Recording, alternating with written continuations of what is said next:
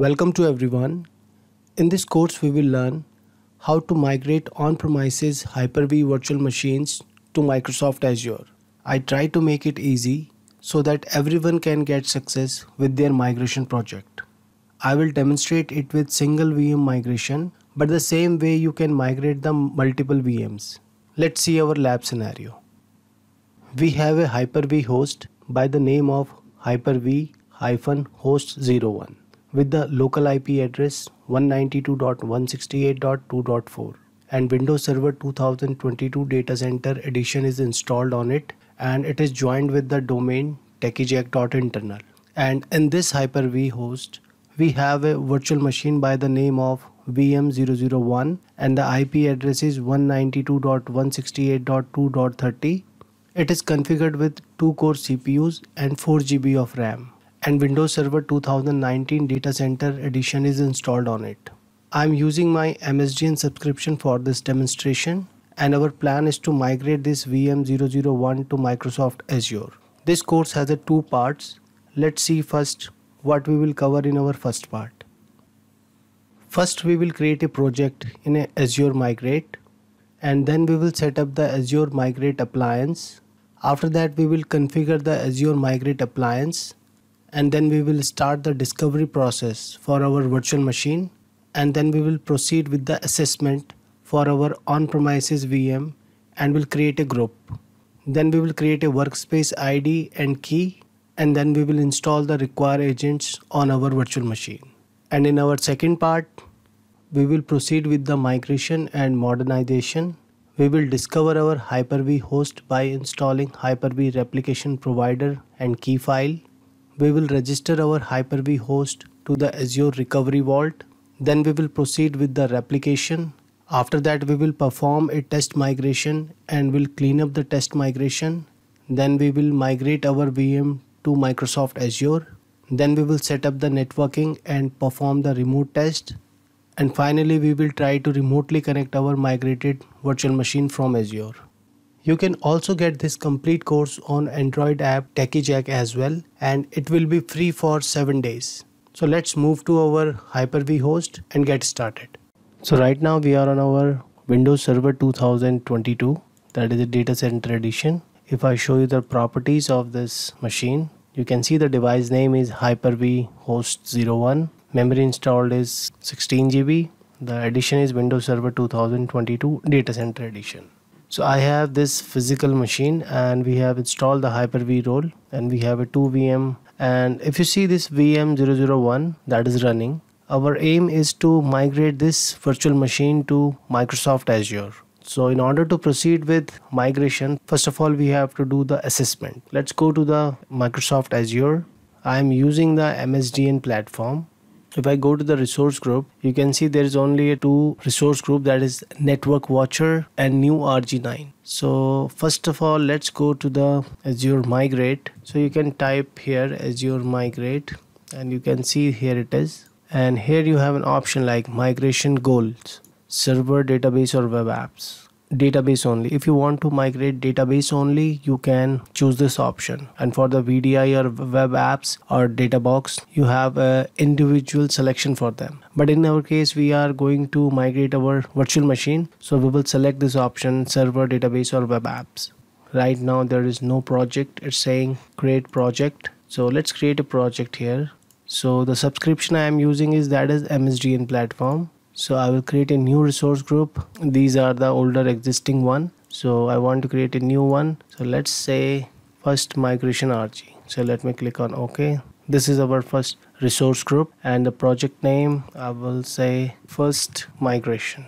And the geography location will be United States. And the advanced connectivity method will be public endpoint. There is a two option public endpoint or private endpoint but we are going to select as a public endpoint. So let's create this project. So now you can see the first migration project has been created and we have to follow these options like this is assessment tool. We have to do the discovery assessment overview and then we have to proceed with the migration tools. So let's start with the discover. There is a two option like discover using appliance or import using csv so here we will choose the option discover using appliance with the VMware vSphere hypervisor or Hyper-V. So as you know that we are using Hyper-V so we will select the Hyper-V and it's saying you have to complete these four and five steps that is generate project key download Azure Migrate appliance, set up that appliance and configure the appliance and initiate the discovery. So let's name your appliance and generate the key migration appliance. Okay, migration app. Let's put the name it as a migration app and generate the key. By the time the key is generating, you can see the second step download Azure Migrate appliance. That is a 12 GB of file and you can select this and copy the link address and you can put inside your browser and you can see the Azure Migrate appliance zip form. It will be downloaded. I have already downloaded it and I have extracted it so that's why it's showing you 27.7 gigabyte. You can see inside this you have a hard drive. So what we have to do we have to import this machine. That is our appliance. So not a new virtual machine we have to import it. Import virtual machine and click on next let me browse it. It is inside the e drive here it is azure migrate appliance. Select it. So it picked it up like azure migrate appliance version. So i will select this. Click on next. At this point you have to select copy the virtual machine and create a new unique id so we will select this option and we will click on next if you want to store this VM in a different location you can select and choose the option. But uh, in my case let it be the default. So let's click on next. Again next. And it's saying that it is not possible to assign 8 virtual processor because my this physical machine does not have that much of capability. So let me reduce the number of virtual processor to 3 or 2 uh, let's do it 2 and click on next. Let me connect it to the network and let's finish. It will copy and import the virtual machine. That is the azure migrate appliance which is 12 GB and we have successfully created a project key. So now our third step is to set up the appliance so here you can see it's saying like it should have a 16 GB of memory and 8 virtual processor 80 GB of disk storage. It is recommended but in my case I don't have that much of memory and CPU so I reduced it. Our this step is going on and after that once the machine is completely imported we will configure the appliance and initiate the discovery. So let's wait until the machine get completely imported. So now Azure Migrate appliance has been imported let me start this machine.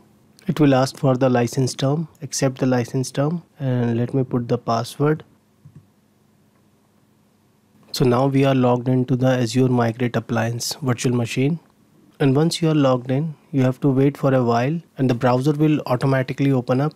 You can see this URL and the port 44368 so now it's prompting for the terms of use. So click on I agree and now it's checking the connectivity to Azure and it will check the time. Now here we have to put the Azure migration key we have generated. Let me copy this key and I will paste it here and let's verify the key. So the key has been verified. So now it is updating the appliance. Here you can see it says new update installed. You can refresh this.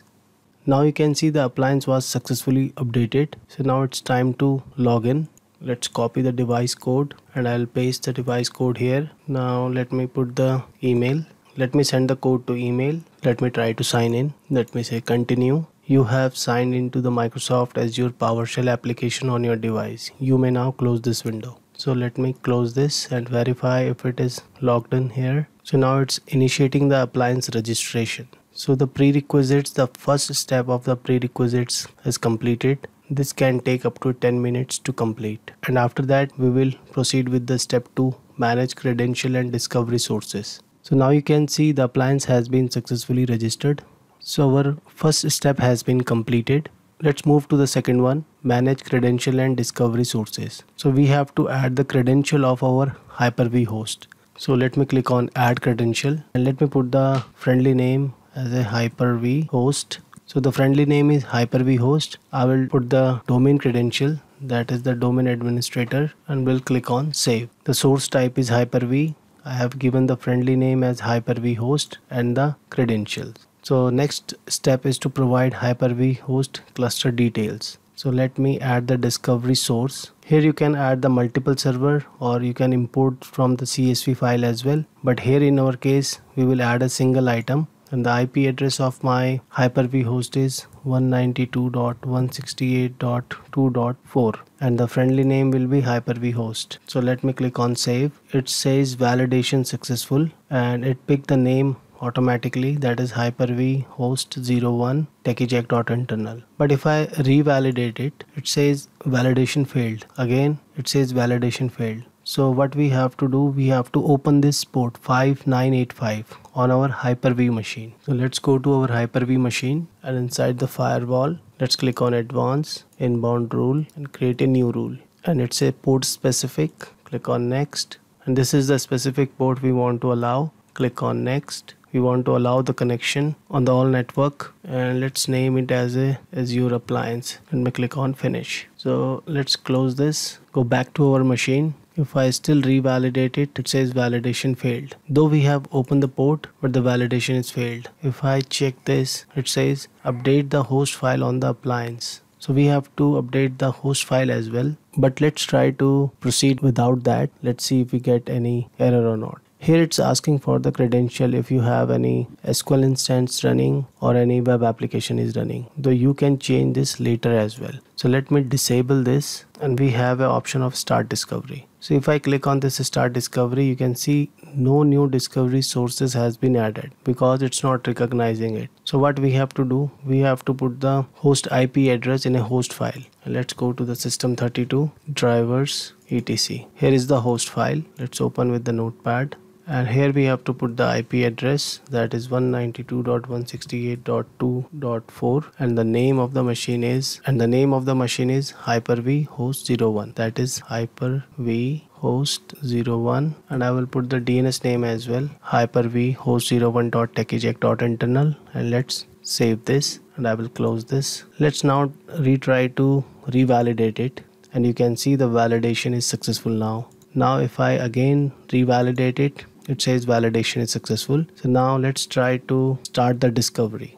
So now it has been initiated. It may take approximately 2 minutes to complete the discovery. And you will be able to view the discovered VMs on the portal and create as on-premises assessment after few minutes. So let's wait for the discovery process to complete.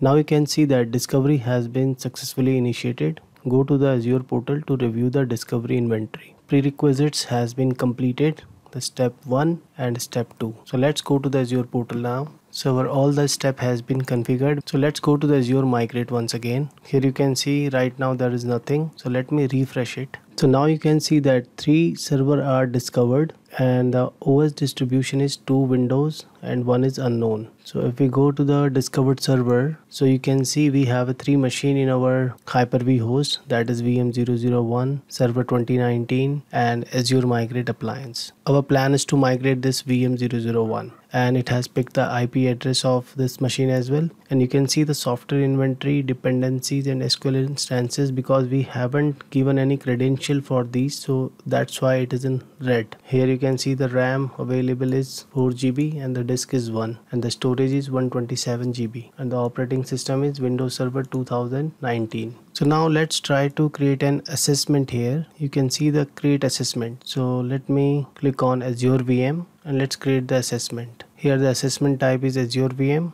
and discovery source is Azure Migrate Appliance. You can see the assessment settings. You can edit this according to your choice. See the target location. Let's select the East US. We will select no reserved instance and here you can see the VM size. I say as on premises and from the VM series we will select all. Comfort factor I will say default and the pricing. Here you have a license program like you can go with the pay as you go enterprise agreement or pay as you go developer test. So let me select pay as you go. Already have a windows server license i will say no and we'll click on save. So next select the server to assess so we want to select the server to assess so here it says give the assessment name. So let's give the name as a migration assessment. And it's asking select or create a group. If you see the existing group we don't have any existing group here. So we'll create a new one. So i will say migration group add machine to the group. That is fine. So here we have to select the machine. So I will select this VM001 and will create an assessment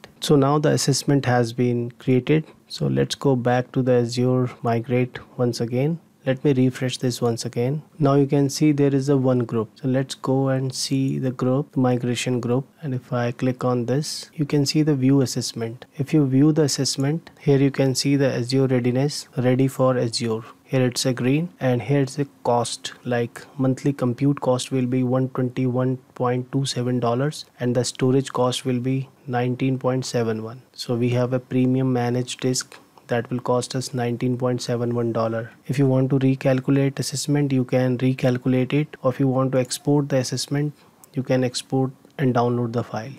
So if I open this file it will look like this. Monthly estimation storage so here is our monthly estimation is $140 you can see all assessed machines here that is VM001 and Azure VM readiness is ready. You can check for the disk here that is a premium managed disk. Assessment properties here it will show you the VM families target location comfort factor sizing criteria is as on premises and storage is premium managed disk. So let me close this. Let's go back to the azure migrate inside the group here you can see the dependency agent based on required agent installation so if I click on this here you can see that it requires a deeper discovery which involves installation and configuration of the below agent on on-premises machine so let's configure the log analytic workspace and I will type the name as migration workspace and the location I will select East US. I will say configure. So here it will generate these IDs workspace ID and workspace key